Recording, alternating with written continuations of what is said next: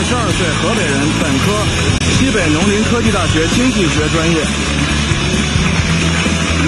大家好，我叫徐世友，今年二十三岁，毕业于西北农林科技大学。今天我来求职的意向，求职的意向是品牌经理。谢谢大家。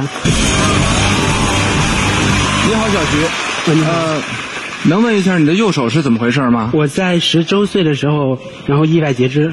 是意外触电。触电哦。嗯，对，不过现在已经习惯了。习惯了，就那你的左手是非常全能了，写字啊、操作啊什么都很可以。嗯，对，因为十岁之后我就呃离开家，就开始独自去上学，所以呃十二十二周岁的时候就独自就能够自生活自理，一切就没问题了。是吧？高考还考得不错，五百八十五分。对我高考那年是超一本分分数线超了十多分，然后然后是省级三好学生，然后有加值分，然后呃去的是西北农林科技大学。嗯，之后呢，毕业之后就来到北京，和一个朋友一块儿创业做款软件，从这个七月份做到这个十月末，然后我就离开做这个独立的企业咨询师。独立的企业咨询师。嗯，对，因为呃，在过去在大学期间，我做过这个微博自媒体。嗯。在微信这一块呢，我有几个有十几万粉丝的公众号。很厉害啊！我在合作，有的是合作的，有的是之前有对做的，所以我有能够有一些客户。那你已经有自己的项目，为什么还要来求职呢？我想呢，先去一家具有高成长性的甲方公司，去随着这个公司可能壮大，在未来三五年，就是。自己经历一家公司，从他成为这个品类的开创者，到他未来成为这个品类的领导者，我希望我去甲方公司。你将来是不是还是为自己创业做准备啊？嗯，对。哦，那显然你是对品牌是比较有有有认识的。那你自己的创业的过程当中，呃，你也自己开了公司，你是怎么运用定位这个理论的？第一，就我就我就以这个做这个软件为例来说明，这个品类呢。是怎么出现的新品类？对，来自于这个品类的分化，分化，或者是品类的这个升级。嗯，我们认为呢，过去的这个培训中介或者经济，它未来会被这个呃软件去升级掉。或者去干掉他们，但是这里面也有一个问题，一旦是网络化之后，别人可以克隆，呃，别人可以大规模的生产，这个时候，对，这时候所以就是，呃，假如用定位理论会告诉你，你要做第一步是要找到一个差异性定位，你找到你的第二步就是要找到足够多的信任状去支撑你的定位，当然第三步你需要把你的定位状啊告诉大家。我不用说了，其实。按照你的说法，你已经把你学所学的理论已经用在实践当中了，为什么又失败？我认为是这个消费者习惯的问题，就是呃，当时。那那其实好的定位就应该预先要知道消费者的习惯。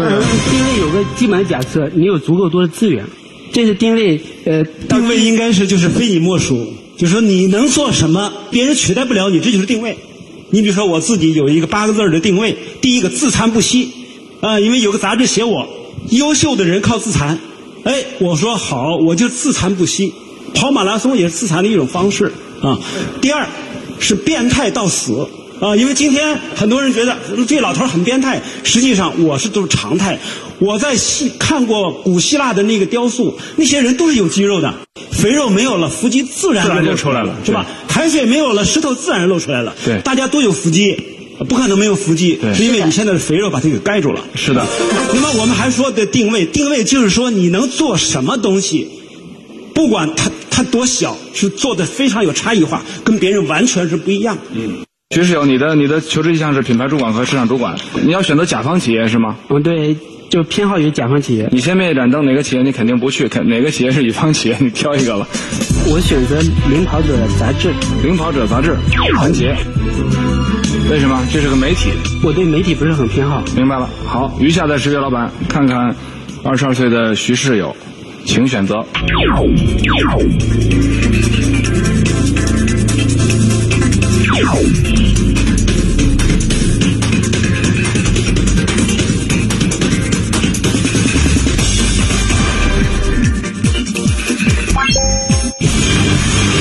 祝贺小徐，还有八家企业留灯。接下来进入天生我有才，有准备材料是吧？有一个。来，我们看一下大屏幕，他展示一下。我们知道，在传统这个电动自行车领域呢，销售量全国在三千多万，增长率呢是百分之二点几。呃，白领呢，典型是电动自行车的一个非顾客，所以我认为这时候可能我们对这个消费者这个品心智进行这个呃。品牌洗脑可能是可以开创一个新的品类，我把这个品类呢定作为定义为这个呃白领上班的最快速的一个省时工具。我们不需要双倍动力，可能我们为了适应白领这个工作时间，可能它你就是要减去呃去掉一些繁琐的功能，啊对，就用它的最核心的部分，啊对，那最核心的部分是什么？呃，最核心的部分，我我认为你的差异化点在哪里？白领省时一个工具，就是因为这这个这个定义就是这是一个概念，它具体从哪几个点表现？一二三。第一，它适合平地，就是它它是一个呃平地的一个概念。第一适合平地，二。呃，二呢，它是足够简约，就足够足够特别简单，它只只只是功能简约，对是吗？它功能简约体现在哪呢？只是上班用，其他时间不提供用。三。呃，就是充分的这种人性化，比如我电这个电量一定是。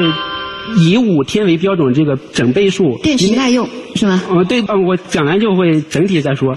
呃，整合营销方案呢，我主要是两个，一个是线上的做这个千城白领省时速达普及工程，在这个下边有两个两项活动。第一个呢是这个线上的活动，叫做我把它定义为请别出轨还我道路。这个是基于我线下的一个体验，你会发现，不论是微博还是这个百度，你搜索自动自动车，弹出来的全是交通事故，因为这个。完全是由于这个机动车辆占用非机动车辆这个道路，所以这个这个第一个整合营销方案是线上的一个整合营销方案。室友，你啊，这个是有啊，我听了你这个以后啊，其实你不符合特劳特的定位的任何一条。第一，你没有自己的优势；呃，第二，第二点，你不符合消费者的心智。比如说快捷酒店。那么快捷酒店，它就重新整理了它的这个呃价值链。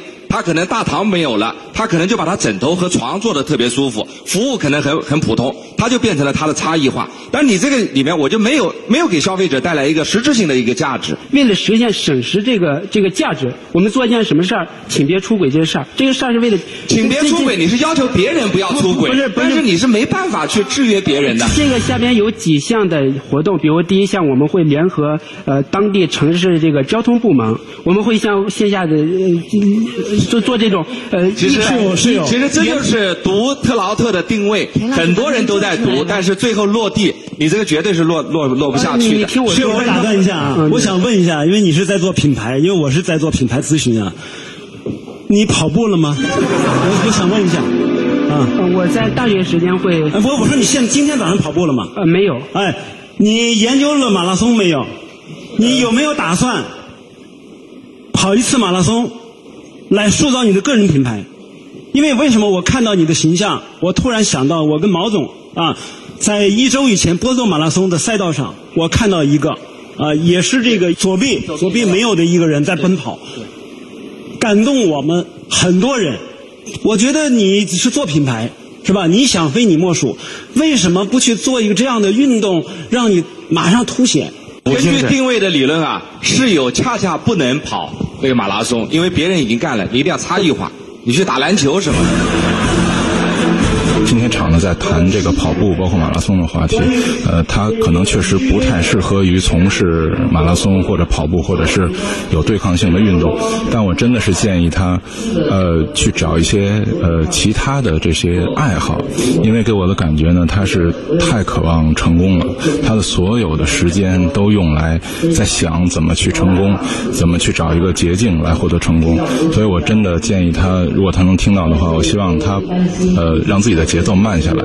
小徐，你倒不如说一两个你实际操作成功的案例。嗯，比如说，你的这个十万人的微信公众账户，你是怎么让它从变成十万人小，从人数少到十万的？你做了什么？哎，说一两个实例，别说理论了。其实，在年轻的创业圈里面，大家都在流行一句话：你要相信一个成功的人会把你带上更高的成功，一个从来没有成功过的人不可能给你带来成功。有吗？有实实在在的例子吗？对，说一两。所以你说你实战的有效的案例，我我你很像我在机场见到那种。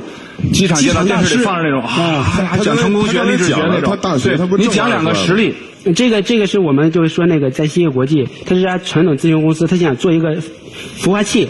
呃，我在那儿，我第一个事儿呢，我是和国外这个创始人学院取得联系，呃，就是加入一个国外一个孵化器联盟。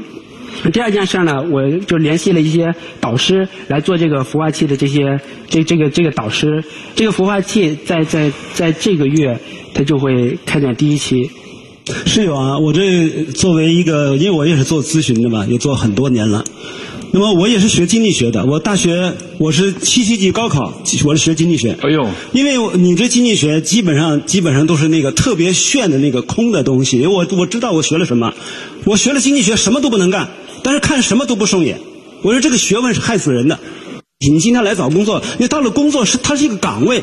今天在座这么多，大家一定记住，你去那个公司里不是给那公司老板出主意的，用不着你，高人遍地。嗯，有你吗？根本没有你，你只是把那个岗位把它脚踏实地做好，把一个活儿拿起来。对你能不能拿起来这个活儿？因为你现在给我们解一直没有说你曾经做了一个什么样的活儿。我告诉你，你知道我给万科怎么做咨询吗？我就告诉你，我二零一一年想在万科推跑步。不是做你这个方案根本没有用，那时候毛总看不上我，去了他办公室，啊，这什么人啊？我今后不跟他来往，是不是有这么一段？毛总，你讲讲。是这样，是这样，真是这样。啊。嗯，我呢就是陪着他们公司的一个普通员工，我说咱们我们一个很很普通的员工，还不是高老师陪我们，不是不是高层。这这个事儿说明一个重要的问题：体育是一个重要的桥梁和渠道，对，认识一个人，交友方式，打开一扇窗，认识一个世界。所以有一个健康的体育爱好，对年轻人的成长是非常重要的。这个求职者给人感觉是他看过了很多事情，但是如果真正让他自己做呢，可能却做的不多，所以会有一点点让人觉得眼高手低。其实各说各有理，但凡是像我们这样的主持人，也不只是能够靠一张嘴而蒙天下。那些没有任何实干经历却敢于上台演讲的人，无非在做两件事。一件事讨好观众，那叫谄媚；一件事讨好自己，那叫自恋。最终说的天花乱坠，却真正的丧失了自我，不知道自己到底能干什么。敢于发表自己的思想，当然是一种勇气，但是一定要有实干的基础，你才言之有地。嗯，我们让老板们选择吧。刘登的八位老板，考虑一下，请选择。呃，低于你预期收入去不去？看哪个企业？我。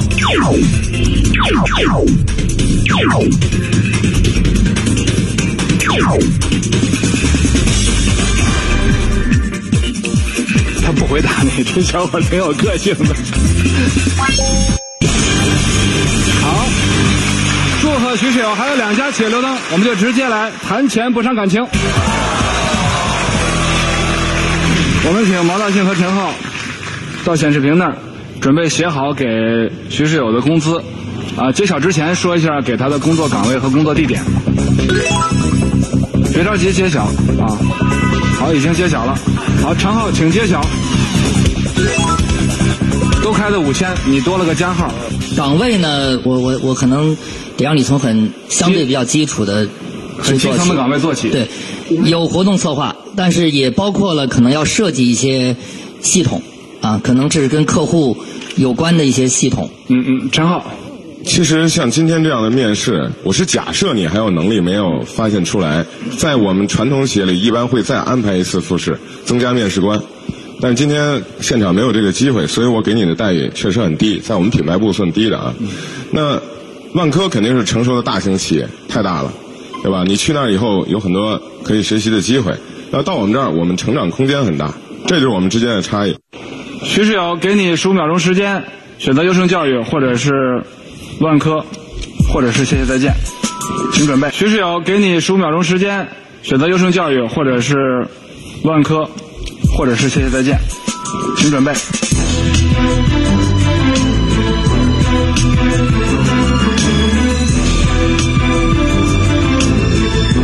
我选择这个万科，万科，但是他可以安排复试。